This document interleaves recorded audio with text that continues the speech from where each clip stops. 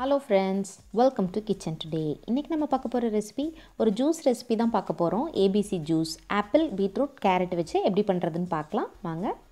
நான் இன்றைக்கி half apple எடுத்திருக்கேன். ஹாஃப் பீட்ரூட் ஒரு பெரிய சைஸ் கேரட் எடுத்திருக்கேன். ஆப்பிள் வந்து தோல் சீவி கட் பண்ணி வச்சுருக்கேன். பீட்ரூட்டும் தோல் சீவி கட் பண்ணி வச்சுருக்கேன். கேரட்டும் தோல் சீவி சின்ன சின்னதாக கட் பண்ணி வச்சுருக்கேன். நான் வந்து இன்றைக்கி ஒரு டம்ளர் கலவாக எடுத்திருக்கேன். நீங்கள் வந்து ரெண்டு டம்ளர் மூணு டம்ளர்னால் இதுலேயே வந்து இன்னும் கொஞ்சம் சேர்த்து எடுத்துக்கோங்க. இதில் வந்து நிறைய பெனிஃபிட்ஸ் இருக்குது நிறைய விட்டமின்ஸ் அண்ட் மினரல்ஸ் இருக்குது ஸோ கண்டிப்பாக இந்த ஜூஸை ட்ரை பண்ணி பாருங்கள்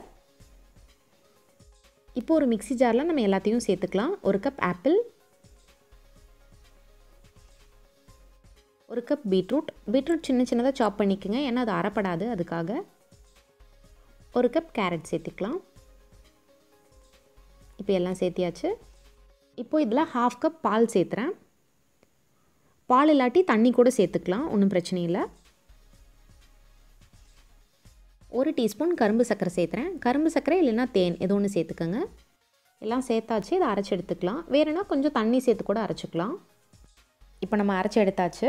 இது ரொம்ப பல்பியாக இருக்குது நம்ம இப்படியே குடித்தோம்னா ரொம்ப ஹெல்த்தி வேணும்னா நம்ம கொஞ்சம் தண்ணி கூட சேர்த்துக்கலாம். இப்போ இதை நம்ம வடிகட்டி எடுத்துக்கலாம்.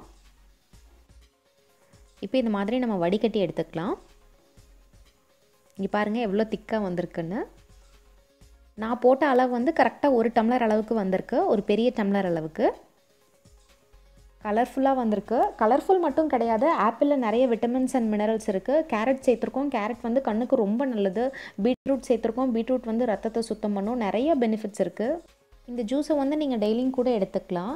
ஏபிசி ஜூஸ் வந்து வெயிட் லாஸ்க்கு நல்லா ஹெல்ப் பண்ணும். நீங்கள் வெயிட் லாஸ்க்காக எடுத்துக்கிறீங்க அப்படின்னா பாலை ஸ்கிப் பண்ணிடணும் சுகரை ஸ்கிப் பண்ணிடணும் தேன் சேர்த்துக்கலாம் ஒன்றும் பிரச்சனை இல்லை.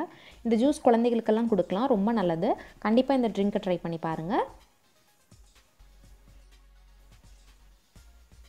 இதோட பெனிஃபிட்ஸ் பார்த்திங்கன்னா அவ்வளோ இருக்குது சொல்லிகிட்டே போகலாம் நிறைய மெடிசினல் வேல்யூஸ் இருக்குது அது மட்டும் கிடையாது டேஸ்ட் ரொம்ப நல்லாயிருக்கும். கண்டிப்பாக ஸ்கிப் பண்ணாமல் ட்ரை பண்ணி பாருங்கள் இந்த ட்ரிங்க் பிடிச்சிருந்ததுன்னா கிச்சன் டுடேக்கு சப்ஸ்கிரைப் பண்ணுங்கள் தேங்க்யூ